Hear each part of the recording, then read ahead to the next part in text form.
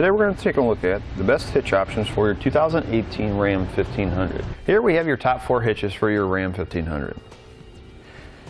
Here we're going to have eTrailer's, class 3 hitch. This one over here, we're going to have CURT's class 3 hitch. Here on our rack on the bottom, we're going to have Draw-Tite's class 5. Here on the top, we're going to have CURT's class 5.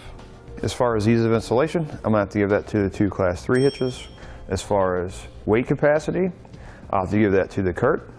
As far as durability, I'm to have to give that to eTrailer's class 3 hitch and the CURT because it's to have a triple carbide black powder coat finish. As far as my personal opinion, um, I don't do a whole lot of heavy hauling, so I would go with the eTrailer Class 3 because of the durability of the finish. If I did do heavy hauling, I would go with the CURT. Uh, it's going to have the same finish as the eTrailer hitch, and it's going to have the highest weight capacity. Let's go over some of the differences between these hitches. Our Class 3 hitches are going to be more for your light duty towing. Our Class 5 hitches are going to be more for your heavy duty towing. They're going to work on the 1500, however the towing weight capacity of these hitches is going to exceed the gross towing capacity of the truck. Differences between our two Class 3 hitches. Our eTrailer hitch is going to have a matte black triple carbide black powder coat finish, which is really going to hold up well against chipping and scratching, where our CURT is going to have a single black powder coat finish. Let's talk about the difference between our two Class 5 hitches. With our Draw-Tite, our safety chain loops, our receiver tube, it's all one piece of forged steel welded onto the cross tube. With our CURT, we're actually going to have three separate pieces. You have your receiver tube, you have your safety chain loop, and then your cross tube are all separate pieces that are welded together. That's going to make our Draw-Tite a lot stronger on our receiver tube. Another difference between these two is this hole right here on our Draw-Tite is for a J-pin stabilization device. What that does, it takes the shake and play out of any of your hitch mount accessories. Our safety chain loops on our Draw-Tite, you can see they're very large in size, very thick piece of steel. With our CURT, uh, we're going to have a plate style, and our safety chain loops are a little bit smaller, so that may limit us on what size safety chain hooks we can use. Now let's go over weight ratings between these two. With our Draw-Tite,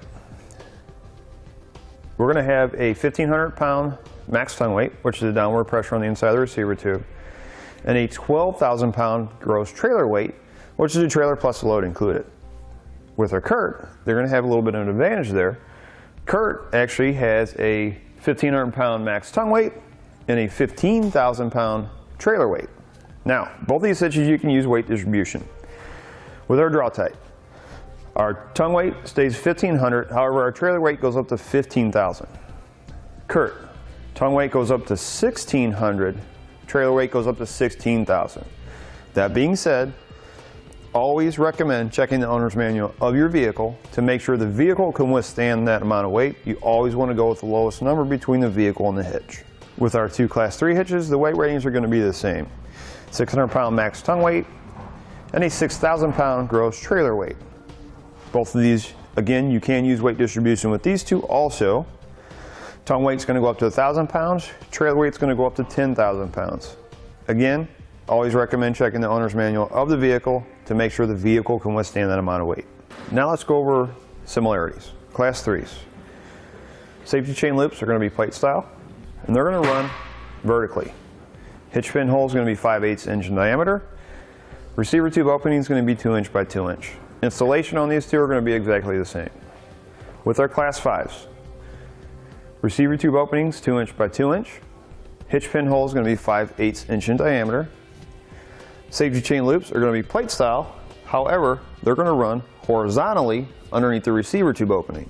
As far as the installation, with our CURT, we're going to have three attachment points on the frame rail. Our Draw-Tite is going to install the same, however, we're going to have one extra bolt that's going to be attached to the frame rail. That'll do it for a look at the best hitch options for your Ram 1500.